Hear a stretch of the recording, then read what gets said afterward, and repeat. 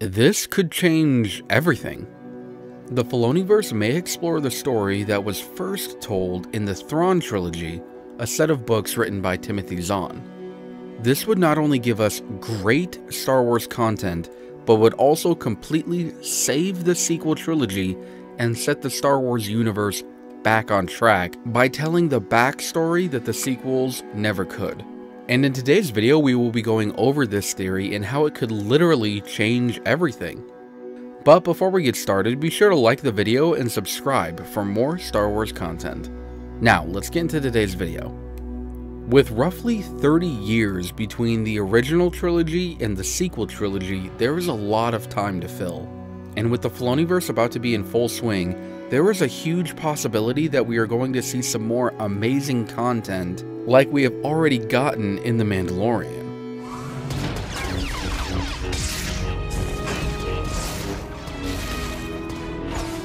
Oh, it's just so good. And there is no other story that fits better into this time period than the Thrawn trilogy. Now tell me, where is your master?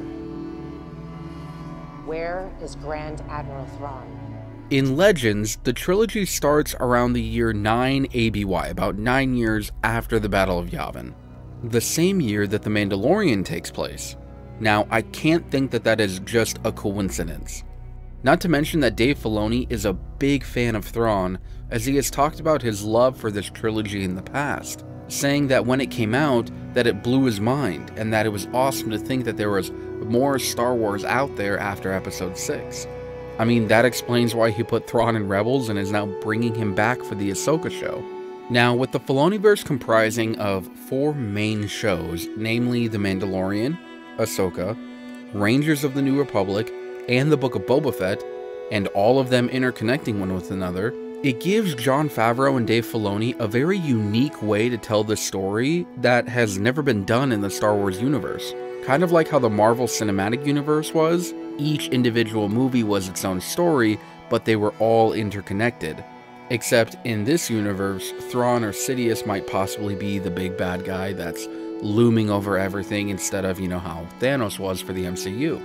Now, there are several indicators within the story already that could possibly already be setting up the Thrawn trilogy to make its grand appearance in these four shows.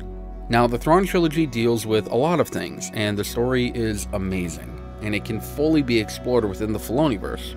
For example, the Thrawn trilogy deals with the Grand Admiral building up an army and then coming in and attacking the newly formed Republic.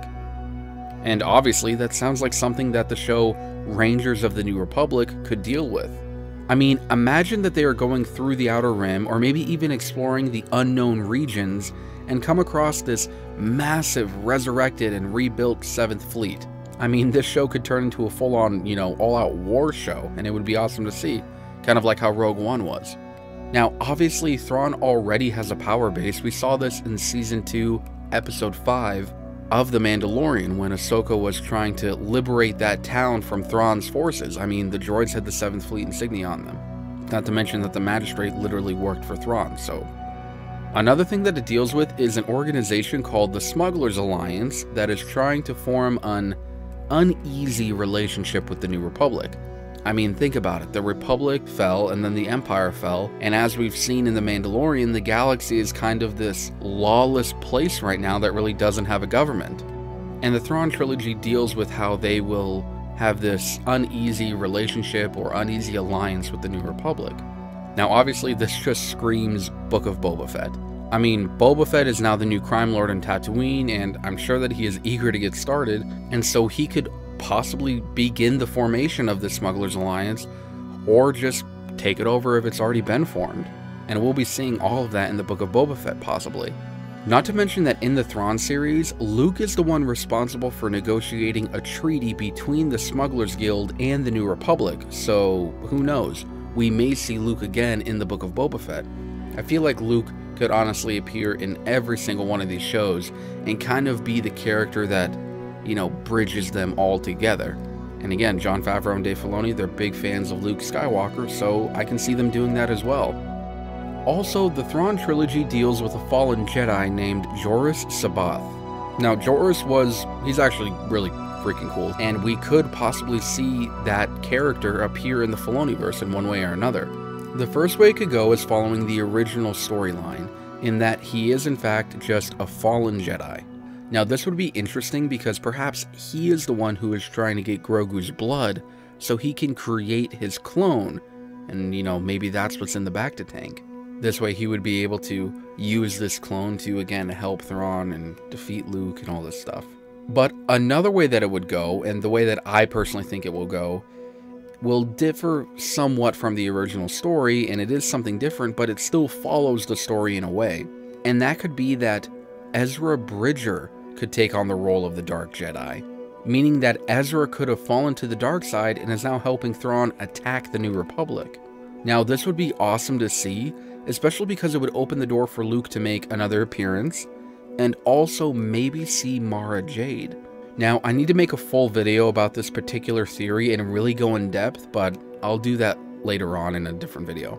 Also in the Thrawn trilogy, Joruus is obsessed with finding and training Leia's kids in the ways of the Force. So, I mean, I guess we could see a very young Ben Solo, or what would make more sense is that the object or person of his obsession will actually be Grogu and it will be Luke and Ahsoka trying to protect Grogu from this insane Dark Jedi. Anyway, whatever they do, it's going to be awesome to see, and we could see all of this unfold in the Filoniverse, in the Ahsoka show, Rangers of the New Republic, Book of Boba Fett, all of it.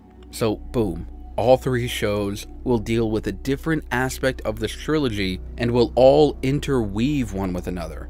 And then The Mandalorian could just wrap up the shows and also, you know, tell the story of what is going on with the characters that we already know and love. The Thrawn trilogy is an amazing story, and honestly, I know that Dave Filoni and Jon Favreau are big fans of it, and I can see them incorporating elements of that story within this Filoniverse. It would bridge the gap between the sequels and originals, and also set up the saga for something amazing, which would then get into the Legacy of the Force series, and it would deal with the beginnings of Palpatine coming back, and, you know, all of that. I mean, the Thrawn trilogy just seems to fit within the timeline.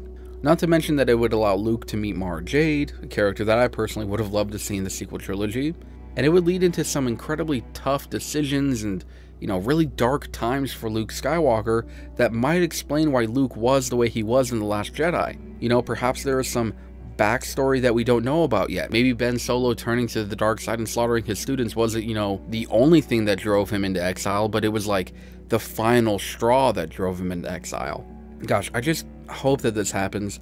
I hope that the Filoniverse is everything that we, you know, anticipate and hope that it is, and that it will be a great story that will really help ease the tension and kind of make the sequels better. Anyway, that's it for today's video. Let me know in the comments what you guys think. Also again, if you haven't already, be sure to like the video and subscribe for more Star Wars content. And remember to forever be a Star Wars fan.